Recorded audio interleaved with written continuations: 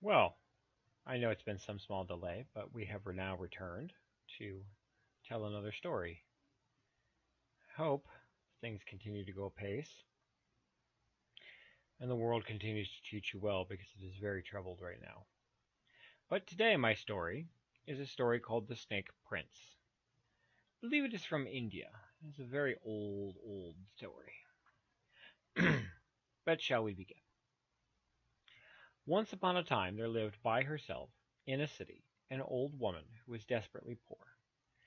One day she found that she had only a handful of flour left in the kitchen, and no money at all to buy any more flour or any hope of earning it. Carrying her little brass pot, very sadly she made her way down to the water to bathe, and to obtain some water, thinking afterwards to come home and make herself an unleavened cake of what flour she had left, and after that she did not know what was to become of her. Whilst she was bathing, she left her little brass pot upon the river bank, covered with a cloth, to keep it the inside nice and clean.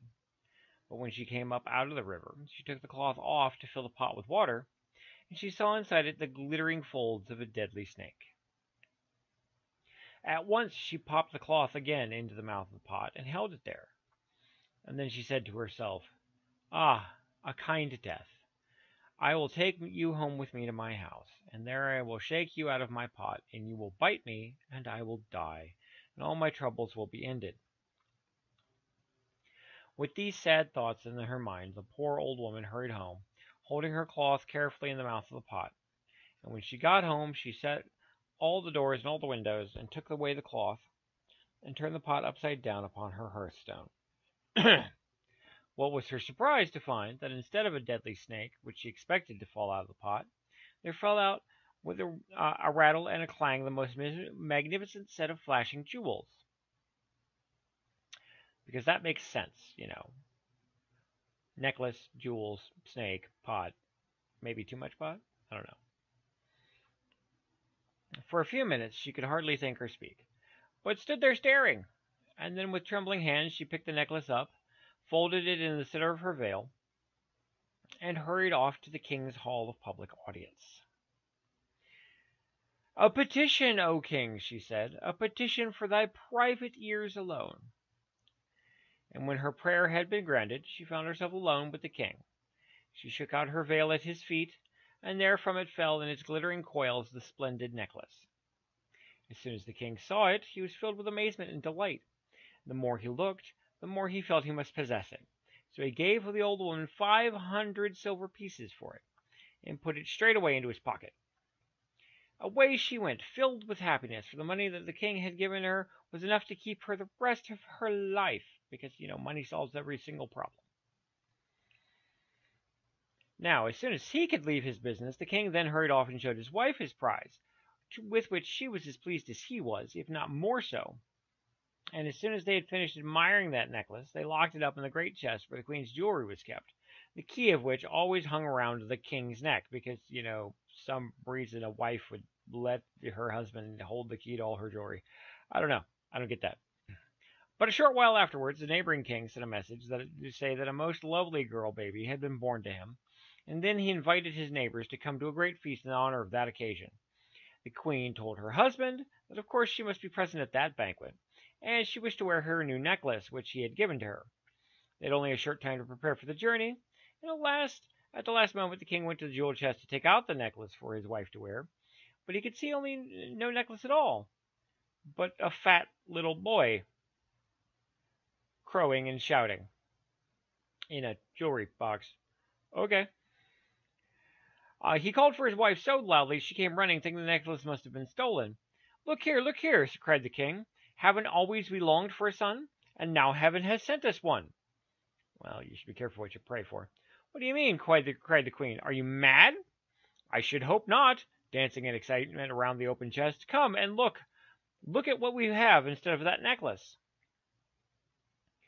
Just then the baby let out a great crow of joy as though he would like to jump up and dance with the king.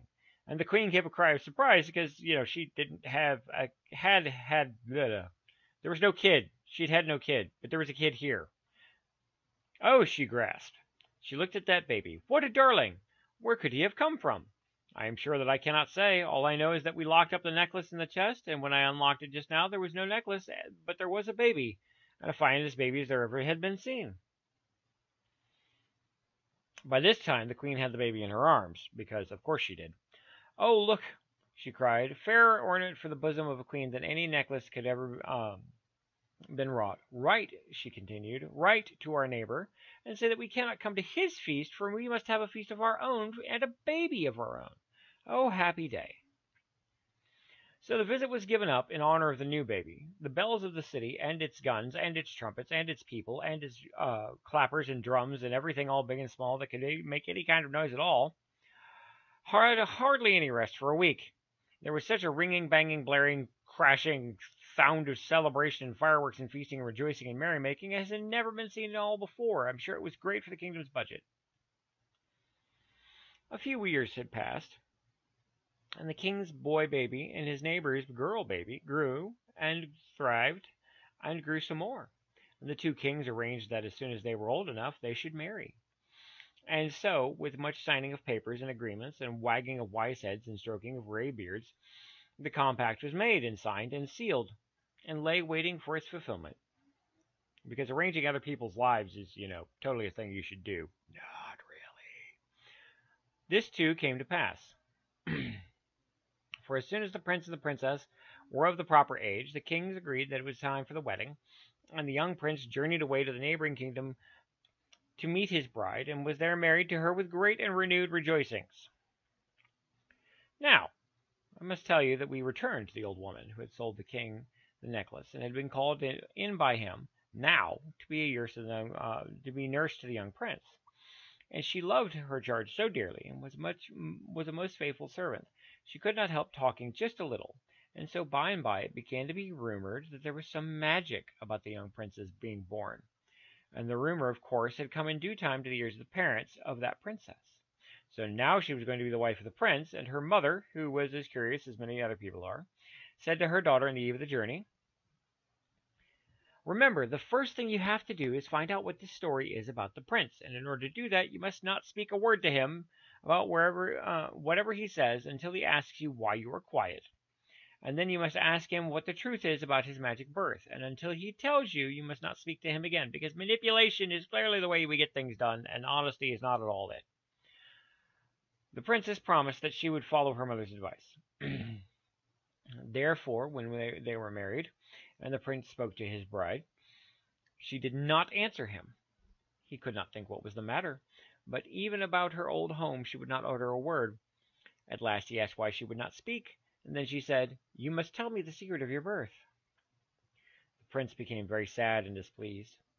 Although she pressed him sorely, he would not tell her, and only uh, reply, If I tell you, you will regret that you ever asked me.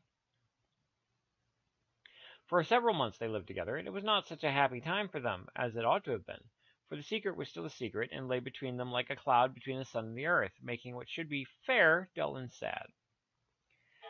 At length the prince could bear it no longer, so he said to his wife, At midnight I will tell you my secret if you still wish it, but you will regret it all your life. However, the princess was so overjoyed that she had succeeded and paid no attention to his warning.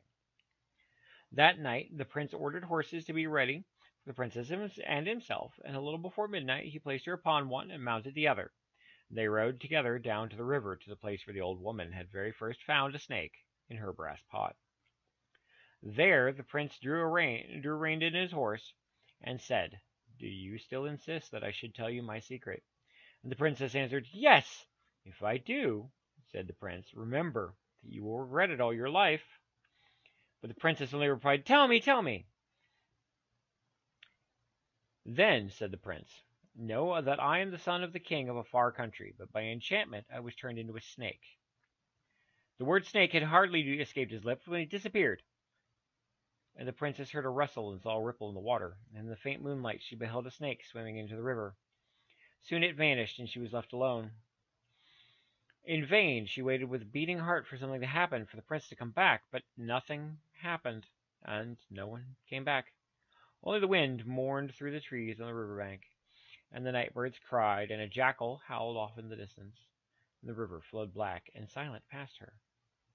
and that is why you should be careful what you wish for. In the morning they found her weeping and disheveled on the river bank, but no word could they learn from her or from anyone as to the fate of her husband.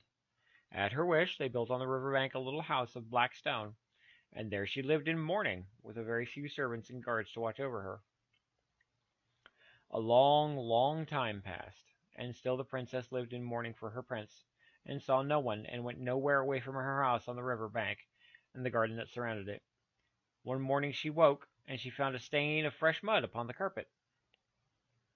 She sent for the guards, who watched outside the house day and night, and asked them who could have entered while she slept. They declared nothing and no one could have entered that house, for they kept such careful watch that not even a bird could fly in without their knowledge, and none of them could explain that stain of mud. The next day, again the princess found the stain of mud, and she questioned everyone most carefully, but none could say how it came to be there. On the third day, on the third night, rather, the princess determined to lie awake herself and watch. For fear she might fall asleep, she cut her finger with a penknife and rubbed salt into that cut that the pain of it might keep her from sleeping, 'cause ouch.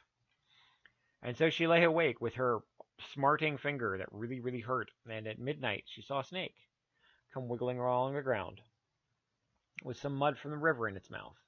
And when it came near her bed, it reared up its head and dropped its muddy head on the bedclothes.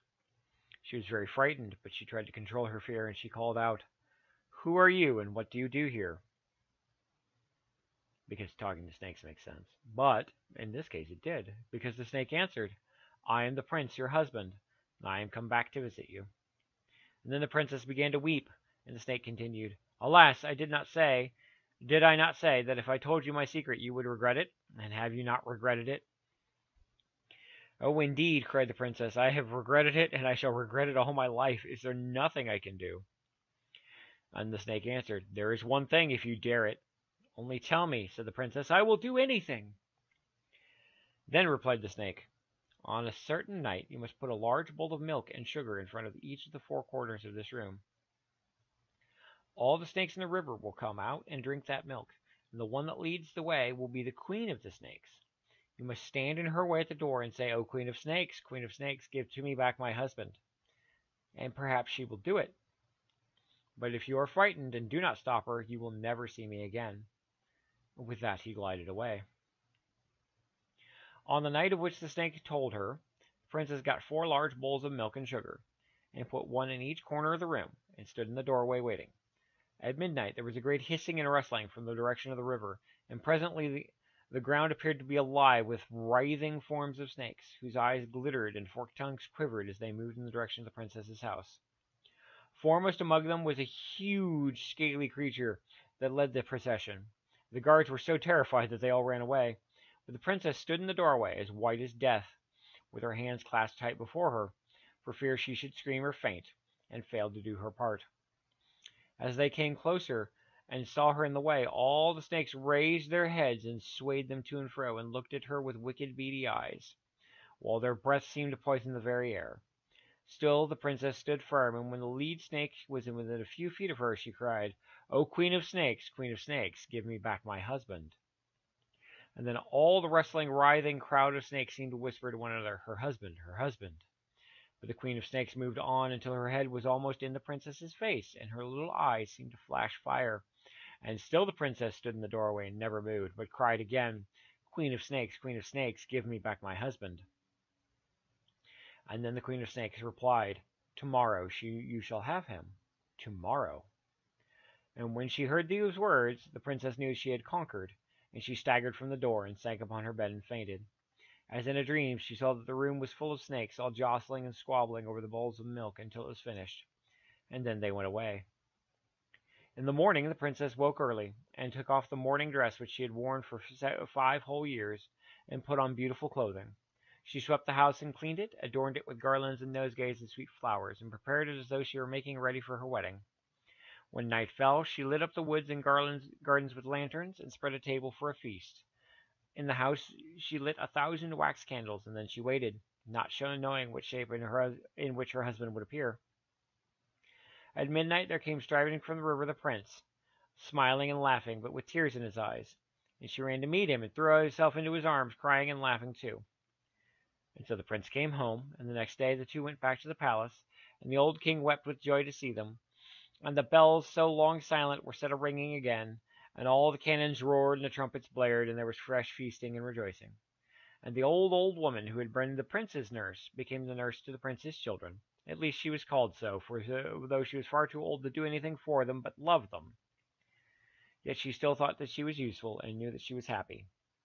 And happy again, indeed, were the prince and princess, who in due time became the king and the queen, and they lived and ruled long and prosperously.